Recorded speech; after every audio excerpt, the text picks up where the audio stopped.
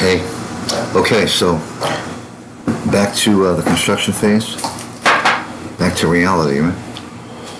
Importing a design review markup. Now, this process is a bit antiqu- uh, antiquated, yet folks are still are still practicing this method. So uh, I do want to touch on it and uh, marking up drawings. Uh, it's still uh, it's still a position that folks do do, right?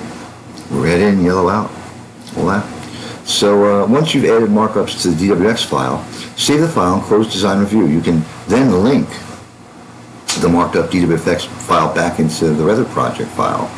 Continue to use the sample file from the previous exercise. You can also download the C20 sample markup file from the book's webpage. This file already contains some markups to use in the following exercise. Perform these steps to import the markup file into the project file. On the Insert tab, choose DWF markup from the panel and then select the DWFX file you saved in the previous exercise. This is a simple import dialog box. There are no settings in the window. When you select a DWFX file, only the markups will be shown, not the entire DWFX file. If there are no markups in the file, nothing will be visible in Revit. In the next dialog box, you will see the, the views in the DWXS file that contain markups and the sheets in the Revit project to which they will coordinate. You can insert all the markups or only specific sheets. Select the sheets you'd like to import. Be sure to select A101 and then click OK. This uh, is no longer uh, the, the way this, this platform works, it, but it does work to a certain extent. Uh, and again, BIM 360 is something that takes us to the next level. Open Sheet A101 from the project browser and you will see the markups as an overlay in the same location where it was created in Design Review. Markups can be linked only to sheets. If you export a view and mark it up, you will not be able to link that view back into the model. Also, none of the other lines of the DWF will be linked into the model. Any of the building geometry, background, sheet content, and so on. The only thing that will be visible in Revit is content created with the DWF markup tool. So it's, a lot of words. Let's, let's talk about that for a second. So in the Insert tab, you can see on the link, uh, the link panel, there's a DWF markup tool.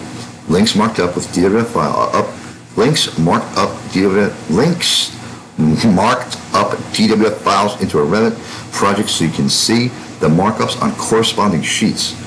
The DWF markups are placed as an important symbol on a sheet in the Revit project. These markups are pinned in place so you cannot move or manipulate them. So if I click that, you'll see there's a few.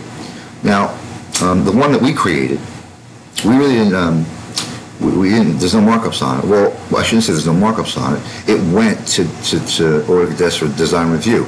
I didn't use design review to mark it up.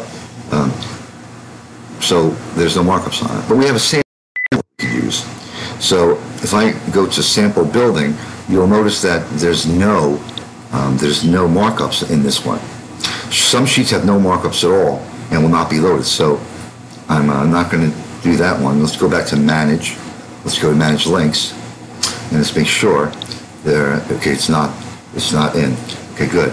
So go back to insert Go back to um, blah, blah, blah, blah, the DWF markup, and you'll see a sample marked up DWFX. So open that one up. Now you'll see the dialog box. Uh, and there it is. Okay. Now, as you can see, we have some some DWF markups that are now part of the design process and the coordination process. So, uh, as you can see, there are instructions for the uh, BIM technician to indeed uh, change some of these things. Um, but again, you can see it's only on the A101 floor plan. So let's uh, undo that. And let's go back up to uh, DWF markup. And let's go to marked up uh, commented. And let's take a look. Again, same story, only on sheet 101. If we go through all the sheets, you'll see there aren't any other markups um, that were created in the DWFX design review platform there aren't any of the markups on any of the building sections uh, on the area plan uh, for level one and for level two. So um, again, yeah, it's a, it used to be a very intuitive tool, and some folks are still utilizing it in the marketplace. But um, um, again, the software is constantly evolving as the uh, industry demands more and more uh, highly precise coordination from um, stakeholders and everyone involved, inclusive, uh, all the way down the ladder, inclusive of you, regardless of where you fit into this project. The software is designed to help you. However, if you've got some issues, you're only going to project them onto others. And that is not conducive to a concise collaborative process. Now, this goes uh, very much deeper into this, whereas you can then um, interact with the link file. So now, you cannot move or delete linked DWF markups. They appear with a pin if selected. However, you can do a number of things to graphically indicate that you reviewed a markup. Change its graphic appearance. Let's say you have 20 red line markups on your sheet. You need to tr- keep track of which ones you've picked up. One way to do this is to graphically override each markup as you make the requested modifications. Select the markup, right-click, choose View by element, and click Override gra- uh, Graphics. Choose a color to indicate Done. Yellow works well because it suggests a highlight markup. Hide. This approach is similar to graphic override, but you hide the markup altogether. Select the markup, right-click, and choose Hide in the View element within the context of right mouse clicking. Remove it. You can remove markups by choosing Manage Links in the Manage tab. In the Manage Links dialog box, select the DWF markup tabs. Select the markup and click the Remove button. This removes all markups associated with the link. Another way you can interact with a linked DWF file is to modify is by modifying the status or pending comments to each markup. You can access these features in the Properties palette when you select a markup. Now, um, if in, in the A in the A101 in the A101 sheet you created in the A1 created uh, go to the properties palette the A101 sheet you see we're in the properties palette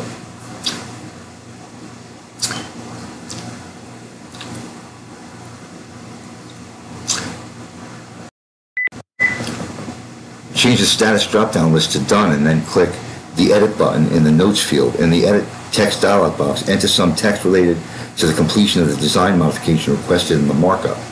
Click the apply button at the uh, bottom of the properties palette or move the mouse pointer out of the properties palette. Switch the insert tab in the ribbon and from the click the, the link panel choose manage links. Select the DWF markups tab. Select the row containing the DW, DWFX file you linked in the previous steps, then click the Save Markups button at the bottom left of the dialog box. There is no alert or notification that the save process is completed. So just wait a few seconds. Click OK to close the Manage Links dialog box. Open the DWFX file again in Design Review and you will see that the status of the markup has been updated. The comments you added can be seen in the Markup Properties palette. Using the DWFX file format along with the integrated tools within Revit, you have a closed communication and coordination group that has traditionally been an area of difficulty.